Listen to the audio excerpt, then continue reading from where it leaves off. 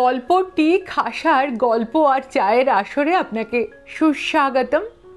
আজ নিয়ে এসেছি প্রেমেন্দ্র মিত্রের গল্প মাথায় চন্দ্রবিন্দু, অর্থাৎ সেই মেজকর্তার খেরোর খাতার গল্প। শুরু করছি মাথায় চন্দ্রবিন্দু। হ্যাঁ গোটা মুল্লুকের মাথাতেই চন্দ্রবিন্দু। কিন্তু সে বৃত্তান্ত বলবার আগে মেজকর্তার কথা একটু বলে নিতে হবে।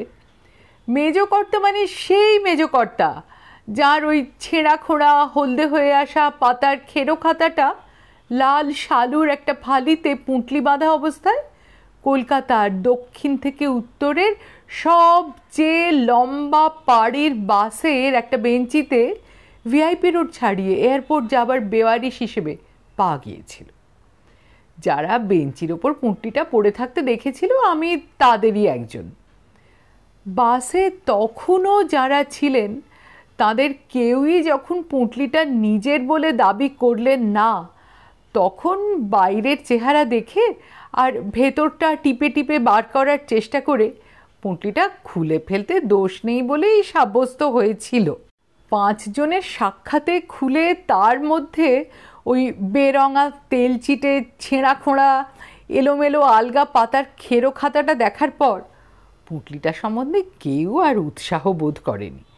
আর আমি একটু নেড়ে চেড়ে দেখে নাম, ঠিকানা কিছু পেলে সেখানে পাঠিয়ে দেবো বলে কথা দিয়ে খাতাটা তখনকার মতো বাড়িতে নিয়ে যেতে চাইলে আপত্তি হয়নি কারও। খেরো খাতাটা বাড়িতে নিয়ে এসে আমি যে ঘাঁটাঘাঁটি করবার দায় নিয়েছিলাম সেটা নেহাত নিঃস্বার্থ, পরোপকারের প্রেরণায় কিন্তু নয়। বাসের মধ্যেই খাতাটা পুঁটলি থেকে বার করবার সময় তার ওই ছেঁড়া সব আলগা পাতার একটা দুটো কথা আমার চোখে পড়ে গিয়েছিল। আর ওই সেকেলে হাতের ধাঁচে লেখা, সে কথা কটাই? মনটাতে একটু রহস্যের সুরসুরি দিয়েছিল লাগিয়ে। পুঁটলি বাঁধা খেরো খাতাটা বগলে করে বাড়ি নিয়ে যাবার আগ্রহটা তাই ছিল আমার অত বেশি। বাড়িতে এসে খাতাটা ঘাঁটাঘাঁটি করবার পর বাসের মধ্যে প্রথম পাওয়া সুরসুরিটা নেহাত মিথ্যা ছিল না বলেই অবশ্য প্রমাণ পেয়েছি। কষ্ট করে এ বেয়ারা পুঁটলিটা বাড়ি বয়ে আনা পণ্ডশ্রম হয়নি। তবে যত দূর পর্যন্ত খাতাটার মর্মোদ্ধার করেছি, তার মধ্যে এ খাতার মালিকের কোনো নাম, ঠিকানা আর হদিশ কিন্তু মেলেনি। পাবার মধ্যে পেয়েছি মেজকর্তা বলে একটা নাম আর তার বাতিকের বৃত্তান্ত।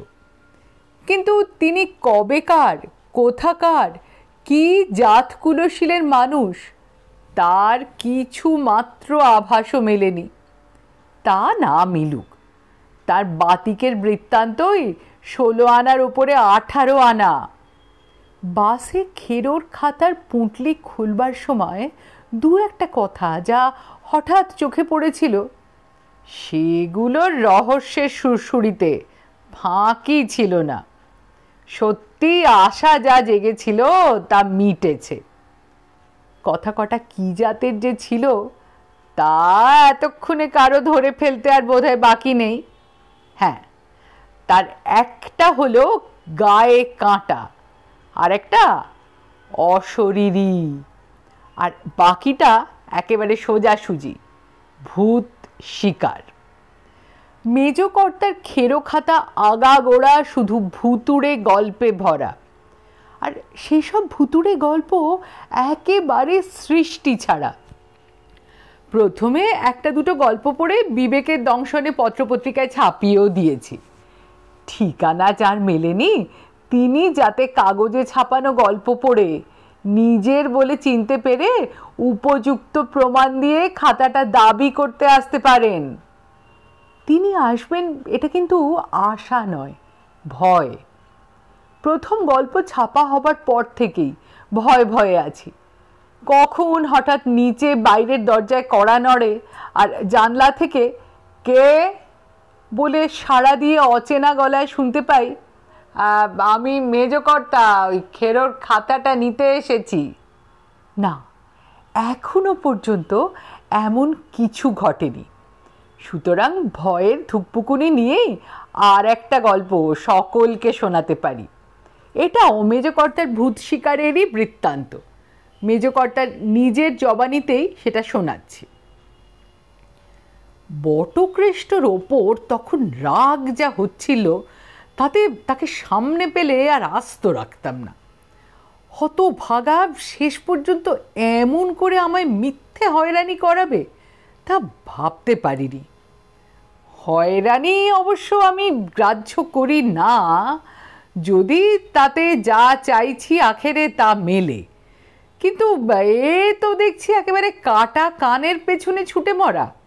যার পেছনে ছুটছি, সেটা সত্যি কাটা কান কি না তারই নেই ঠিক। বটকেষ্ট তার চিঠির চিরকুটটার শ্রীচরণে শতকোটি প্রণাম জানিয়ে লিখেছিল যে এবারে সে এমন পাকা খবর পেয়েছে, যার আর মার নেই। কোনো রকমে বেনাপোলের হাটে গিয়ে পৌঁছে গেঁয়ো খোলার রাস্তাটা ধরে এগোলেই হলো। গোটা অঞ্চলটারই মাথায় নাকি চন্দ্রবিন্দু দেওয়া। সব সেই তেনাদের রাজত্ব। সন্ধ্যের পর নাকি মানুষজন তো ছাড়, কুকুর বেড়ালো নাকি হাটে মাঠে থাকে না। তেমন দায় পড়ে বার হতে হলে ওই রঘুপতি রাঘবের নামটা মনে মনে জপতে হয়। আর দৈবাত কোনো জনের সঙ্গে দেখা হয়ে গেলে গলার আওয়াজটা লক্ষ্য করতে হয়। রাত বিরেতে ও অঞ্চলে নাকি খোনা আওয়াজ ছাড়া কিছু শোনাই যায় না। বটকেষ্টের ওসব রং চড়ানো আখ্যানে অবশ্য আমার হাসিই পেয়েছে। আহাম্মকটা কোথায় কেমন করে রং চড়াতে হয় তাও জানে না। তার ওসব বর্ণনা শুনে আমি এত দূর আসিনি। তার একটা কথাই শুধু আমার মাথার মধ্যে ঝনাত করে গিয়ে বেজেছে সে লিখেছে, গোটা অঞ্চলটার মাথাতেই যেন চন্দ্রবিন্দু দেওয়া। এরকম কথা তো আমার শ্রীচরণে শতকোটি প্রণাম নিবেদন করা ওই শ্রীমান বটকেষ্ট শর্মার মাথায় আসবে না। এ কথাটা ওখানেই সে কারও মুখে শুনেছে নিশ্চয়। এমন একটা কথা যার মুখ দিয়ে বেরিয়েছে। তিনি শুধু কোনো মৌতাতের খুশির খেয়ালে শূন্য হাওয়ার ওপর এমন একটা লাগসই বর্ণনা বানিয়ে তুলতে পারেন না। তা সম্ভব নয়। একটুখানি সার এমন বর্ণনার তলায় কোথাও অবশ্যই আছে। গোটা অঞ্চলটার মাথাতেই যেন চন্দ্রবিন্দু দেওয়া। বেনাপোলে পৌঁছবার কোনো ঝামেলাতেই গা করিনি। ওই বুকনিটি যার, তার সঙ্গে দেখা করবার আশায়। হাটতলায় পৌঁছে ওরকম কথা বলতে পারা এমন মানুষের খোঁজ করেছি, প্রথম। কিন্তু কোথায় কাকে পাব? সব তো ভোঁ ভোঁ বললেই হয়। হাটবার অবশ্য দুদিন আগেই পার হয়ে গেছে। ভাঙা হাটে দু চারজন ফোড়ে শুধু ঝরতি পড়তি কিছু সদা এখনও ছড়িয়ে বসে আছে। নইলে হাত একেবারে ফাঁকা। হোগলার চালগুলো গুটিয়ে তুলে নিয়ে যাবার পর দোকানপাটের ওই বাঁশের ন্যাড়া খুঁটিগুলোই শুধু মাথা উঁচিয়ে আছে। ফোড়ের দু চারজন যে আছে তা নেহাত দায়ে পড়েই বোধায় আর সেই জন্যই মেজাজ তাদের হয় তিরিক্ষি। নয় গোঁজ। যার গোঁজ, তারা কথা বললে কেউ উত্তর দিতে চায় না। নিজের গরজেই কারও কাছে গিয়ে আলাপ জমাবার চেষ্টা করি। তার বিছানো সওদাগুলো দেখে নিই অবশ্য, তার আগেই। সর্ষের দানা, পোস্ত, হলুদ, তিল, এই সব নিয়েই তার বেসাতি। আলাপটা এর ওপরেই তো চালাতে হবে। তবে প্রথমে গায়ে পড়ে আপনার জন হয়ে উঠে একটা মন গড়া সমস্যার পরামর্শ চাইলাম। ও ভালো মানুষের প, এখানকারই মানুষজন যেন কেমনতর লাগছে।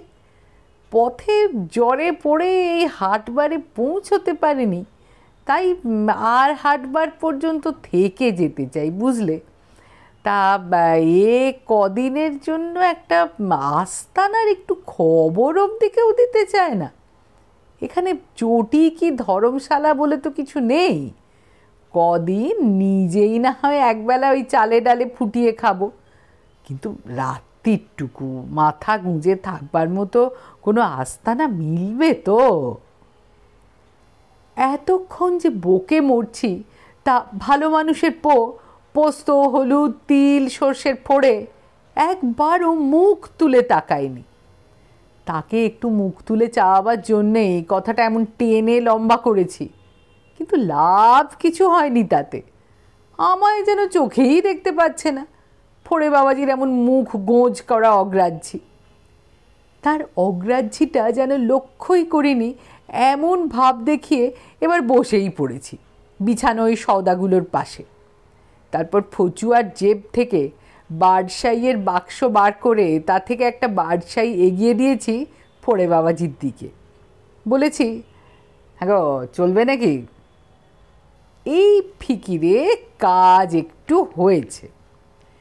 গোমড়া মুখ নরম হয়নি, কিন্তু ফোড়ে বাবাজি হাত বাড়িয়ে বারসাইটা নিতে অন্তত গড়িমসি করেনি। সেটা নিয়ে চোখের সামনে দু আঙুলে ধরে এদিক ওদিক পাক দিয়ে ঘুরিয়ে যেন যাচাই করে নিয়ে, বাবাজি সেটাই আমার জ্বালানো দেশলাইয়ের কাঠিটা ছোঁয়াতে দিয়েছে। কিন্তু তাতেও লাভ যা হয়েছে, তা বাদশাইয়ের এই ধোঁয়াটুকুর বেশি কিছু নয়। আগে যা জিজ্ঞেস করেছি, তা যেন এই ফোড়ে বাবাজির কানেই যায়নি। কথাটা তাই আবার স্মরণ করিয়ে দিয়েছি, একটু ভনিতা করে। বুঝলে বলছিলাম কি, চারটে দিন বাদেই তো পরের হপ্তার হাট। তা এই কটা দিন আবার টানা পড়েন করে মরি কেন বলো? এখানে এই কটা দিন থাকবার একটা জায়গা জোটে না? জবাব এবার মিলল। কিন্তু এ আবার কীরকম জবাব? বার্ডসাইটা হাতের মুঠোর ভেতর কলকের মতো ধরে ফোড়ে বাবাজি একটি মাত্র বাক্যি ছাড়লেন বার্ডসাইটের বকশিস হিসেবেই বোধ হয় বাকিটাই এখানে থাকতে নেই। ভালো রে ভালো, তোর কাছে উপদেশকে চাইছে? এই ভেবে রেগে উঠতে গিয়ে হঠাৎ যেন টনক নড়ল। আরে, এ তো আমার লাইনে পড়া কথা। এখানে থাকতে নেই। কেন থাকতে নেই? থাকতে নেই তো লোকে আছে কি করে? ফোড়ে বাবাজি নিজেই বা থাকে কোথায়? প্রশ্ন তো অনেকগুলোই আসে। তার মধ্যে কোনটা আগে করলে আমার কথার লাইনটা চালু থাকে? গলে পড়ে শেষেরটাই আগে তুলে বসলাম। হ্যাঁ? থাকতে নেই তবু তো থাকে কেউ কেউ। যেমন বাবা জীবন নিজে। তা বাবা জীবনে নিজের কোথায় থাকা হয়? ফোড়ে বাবাজির বাদশাহীটাও তখন শেষ হয়ে গেছে। সেই সঙ্গে গলার ফুটোও এসেছে বুঝে। প্রায় না শোনার মতো গলায় জবাব দিলে, তাতে কার কি দরকার? সেই সঙ্গে শেষ হওয়া বাদশাহীর টুকরোটাও দূরে ছুঁড়ে ফেলে দিয়ে, আমার খাতিরটা এখন কি? তাই বোধহয় বুঝিয়ে দিলে। এখানে বসে গায়ে পড়ে আলাপ করার চেষ্টা করে আর লাভ নেই। তাই উঠেই পড়লাম। এবার আর কি করা যায়? গোমড়া মুখের কাছে এই খাতিরের পর তিরিক্ষি বাবাজি ওপাশে যে বসে আছে, তার কাছে যে কি খিঁচুনি শোনা যাবে, তা তো বুঝতেই পারছি।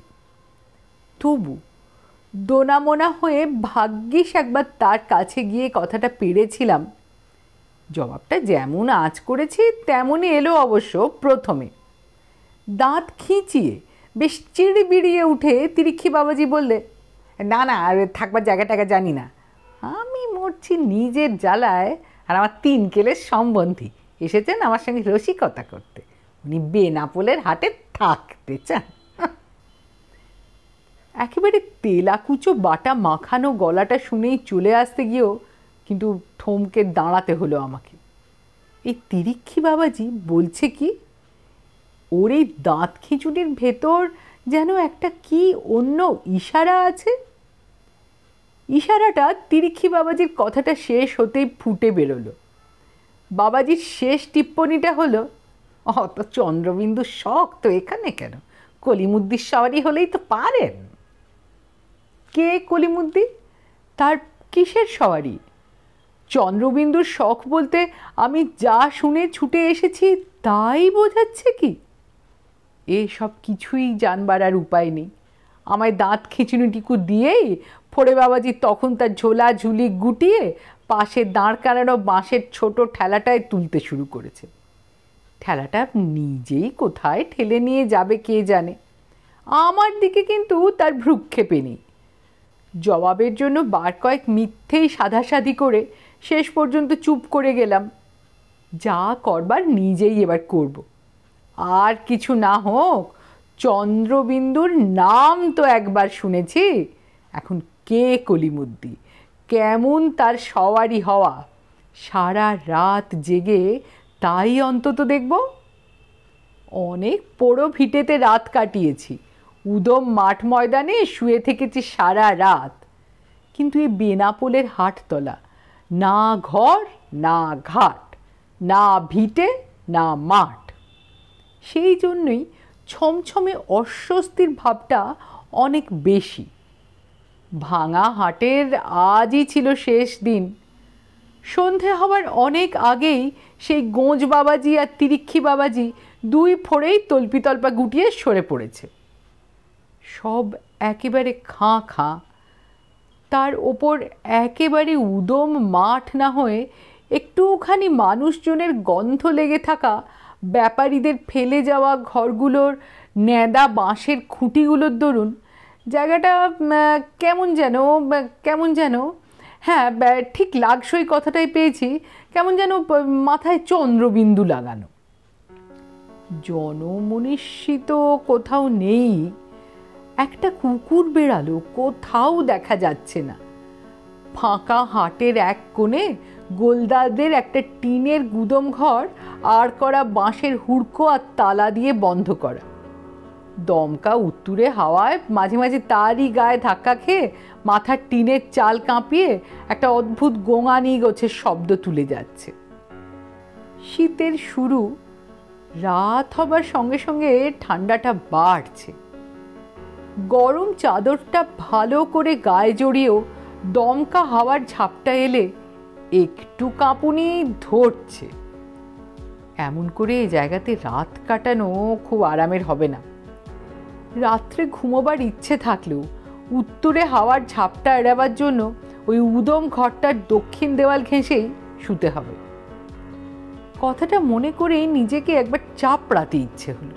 শুয়ে ঘুমিয়ে রাত কাটাতেই এখানে এসেছি নাকি? এখন খোঁজ করতে হবে তো, কলিমুদ্দির। সওয়ারি হতে হবে তার গাড়ির তবেই তো আমার চন্দ্রবিন্দুর স্বাদ মিটবে। কিন্তু কোথায় করব কলিমুদ্দির খোঁজ? সে খোঁজ কি হাটতলায় চাদর জড়িয়ে বসে থেকে মিলবে? তার কি গাড়ি? কেমন গাড়ি? কোথায় গাড়ি? কিছুই জানি না। তবু সওয়ারি হবার গাড়ি যখন, তখন তা তো এই হাটতলার ওপর নয়, রাস্তাতেই চলবে। খোঁজ করতে হলে তাহলে তো সেই রাস্তাতেই করতে হয়। কিন্তু তাই বা কোথায় করব ভেবে তো কুল কিনারা পেলাম না। বেনাপুরের এই হাটতলায় আসবার তো একটাই রাস্তা।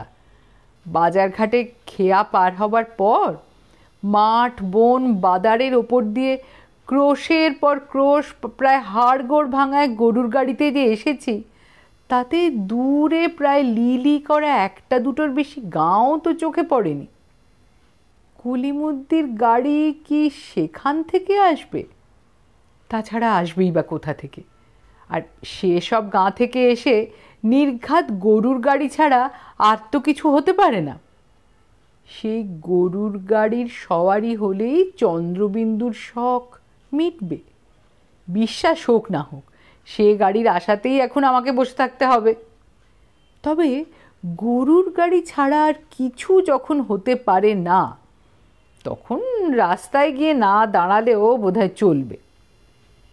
চারিদিকে শীতের কুয়াশা নেমে যেমন ঘুটঘুটে অন্ধকার, তেমনি সব একেবারে নিস্তব্ধ। কলিমুদ্দির গরুর গাড়ি তো আর লাট বেলাটের ল্যান্ডো বগি নয়। চাকার ক্যাঁচ ক্যাঁচা ক্যাঁচানিতেই এসে পৌঁছেবার অনেক আগে থাকতেই জানান দেবে নিশ্চয়। এই কথা ভেবেই চাদরটা মাথা পর্যন্ত আরও ভালো করে মুড়ি দিতে না দিতেই হঠাৎ কি? হ্যাঁ গাড়িরই শব্দ। কিন্তু ক্যাঁচ ক্যাঁচানি তো নয়। এই যে স্পষ্ট ঘোড়ার খুরের নালের খটখটাখট শব্দ। কলিমুদ্দি ঘোড়ার গাড়িই চালিয়ে আসছে তাহলে? কোথা থেকে কেমন করে তা সম্ভব সেসব ভাববার তখন আর সময় নেই। তারা হুড়ো করে চাদর সামলে রাস্তায় গিয়ে দাঁড়ালাম। ঠিক ওই বাজার ঘাটের দিক থেকেই শব্দটা আসছে।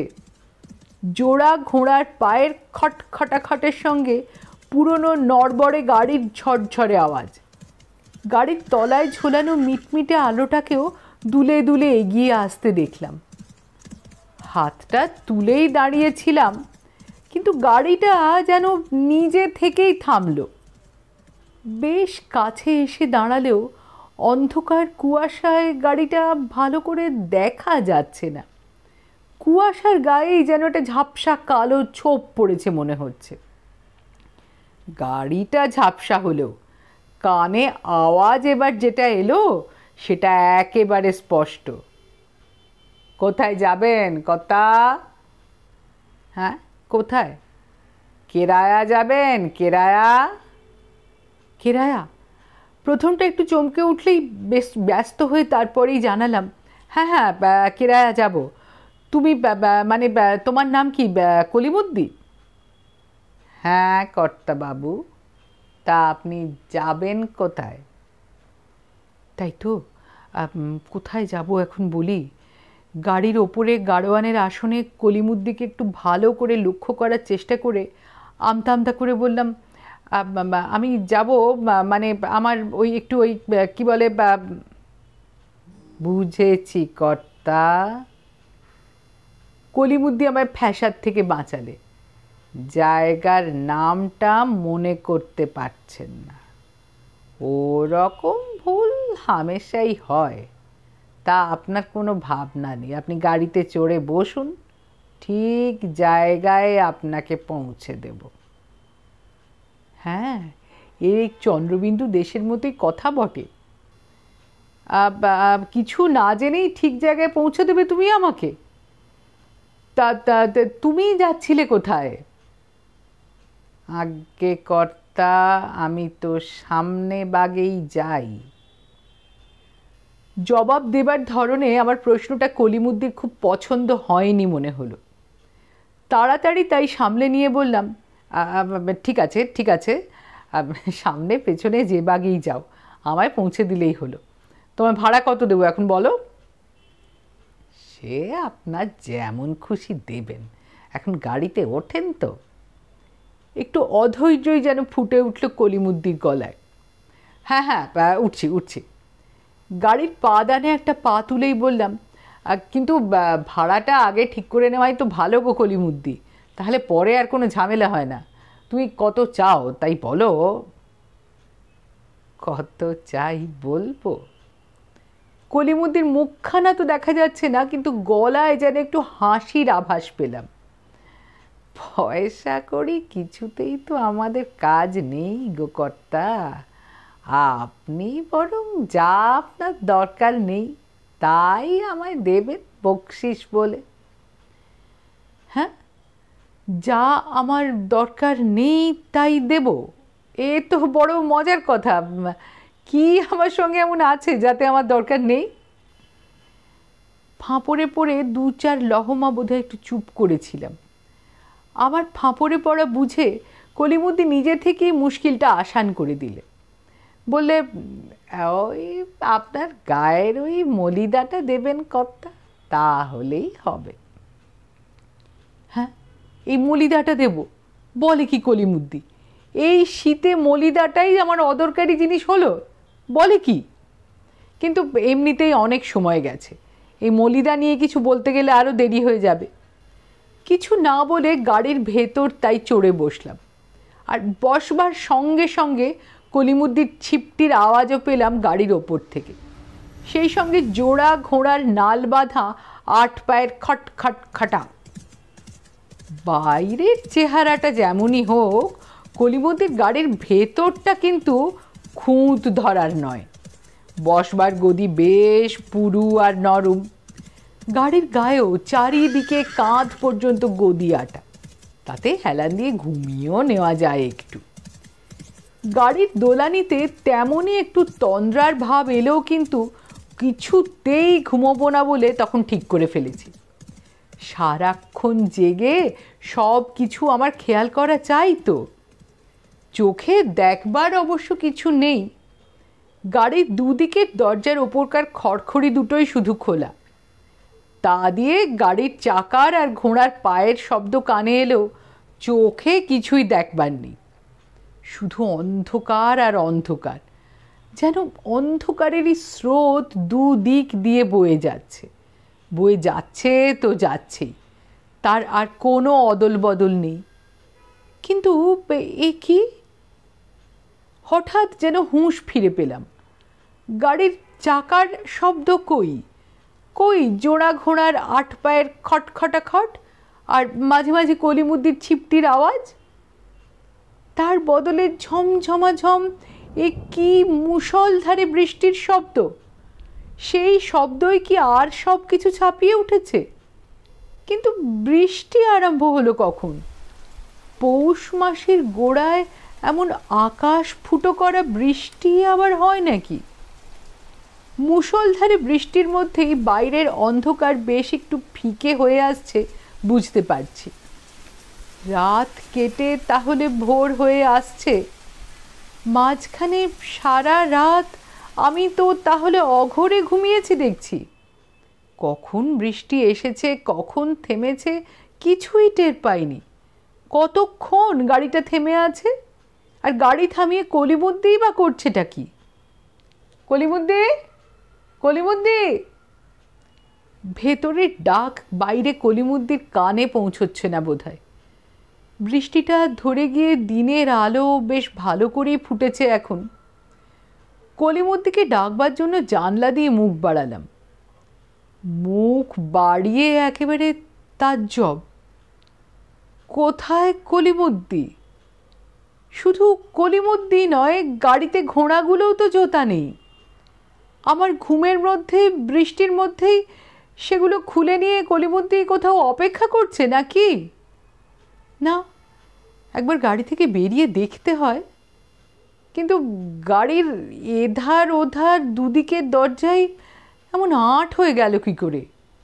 মরচে ধরে গেছে যেন হাতলের কবজায়। রাত্রের অন্ধকারে যেগুলো অত ভালো মনে হয়েছিল, সেই গদিগুলোও তো দেখছি ছেঁড়া খোঁড়া, ভেতরের ছোবড়া বার করা। কোনো রকমে লাথি মেরে পায়ের জোরে দরজা খুলে বেরিয়েও পড়লাম।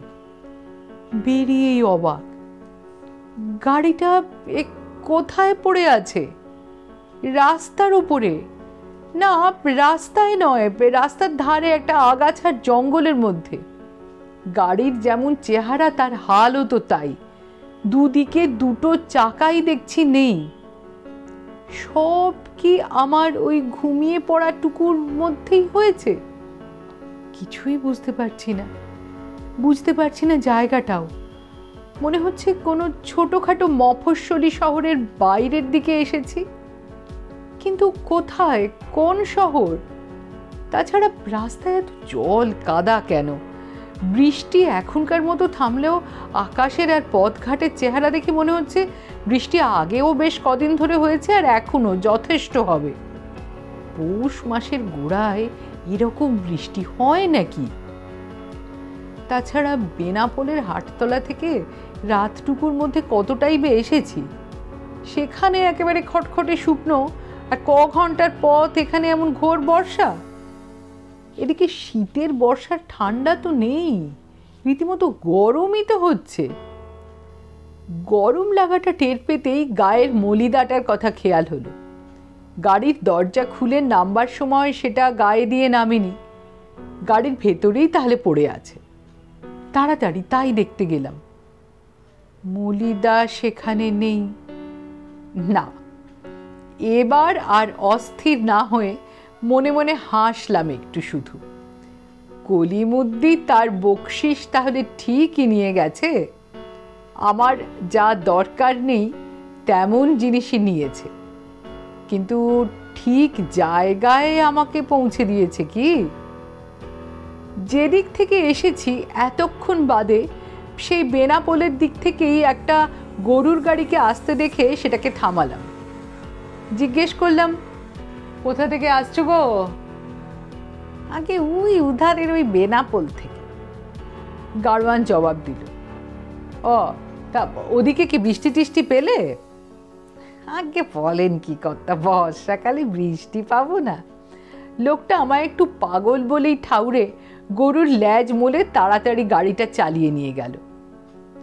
প্রশ্নটা আমি অনেক ভেবে চিনতেই কিন্তু করেছিলাম। উত্তর পেয়েই যা বোঝবার বুঝে নিয়েছি। বটকেষ্ট তাহলে ভুল খবর আনেনি। সত্যি, মাথার ওপর চন্দ্রবিন্দু দেওয়া মুল্লুক ই। কলিমুদ্দি তাই এক রাতের সওয়ারি করে আমায় শীত থেকে একেবারে বর্ষায় এনে দিয়ে গেছে।